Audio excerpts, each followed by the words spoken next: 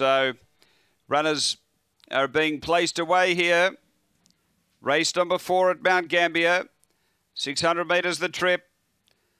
And uh, we're just about right. They're all in. The signal is on. And we're ready. Real race here. Lady Banjo, the fave, drawn the five. Set, away.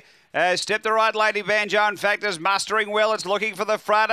Lady Banjo goes with Dark Eagle in the early part. Uh, behind those, Lectra Destiny railing up is Homer as they go out of the straight. Then came Lectra Boots from Rally. And back at the tail is Kylan Bray. Down the back, and the leader is uh, Lady Banjo out a length and a half on Homer. So the two faves clear out. Three away is Lectra Destiny. Uh, then came Rally. Behind those is Lectra Boots. And then Kylan Bray. It was back toward the tail up to the turn third. Lady Banjo, the leader, sweeping home Lectra Destiny. Homer the inside. Homer. Homer beats Lectra Destiny and third home Lady Banjo. Behind those came Rally. Uh, then we had Lectra Boots, Kylan Bray and Dark Eagle back at the tail end. Uh, the time here uh, looks to be around the 36 second mark. 36.07 the run.